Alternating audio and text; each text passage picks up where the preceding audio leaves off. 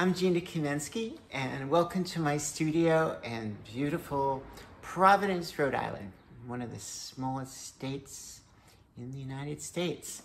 And I'm the director of Gina Kamentsky's Pinocchio in beautiful 70 millimeter.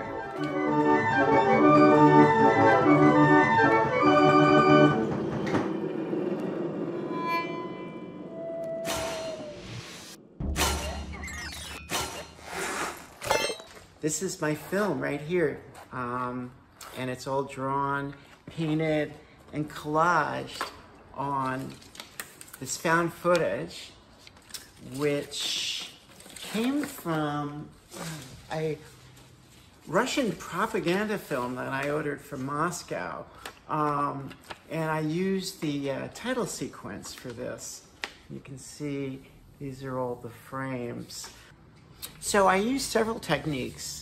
I draw on the film, and if you can see these little, these are little 16 millimeter frames um, from an old movie that I've glued onto the footage. I also uh, have this new technique that I've worked on where I, you can see this, and the letters are created by um, using this. This is um, dry transfer lettering that I got.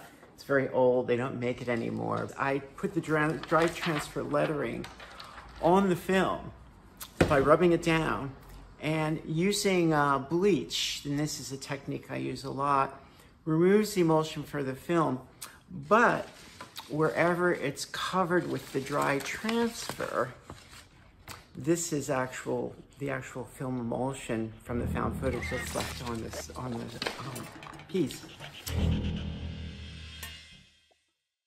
Thanks for watching. I'll see everyone at the festival.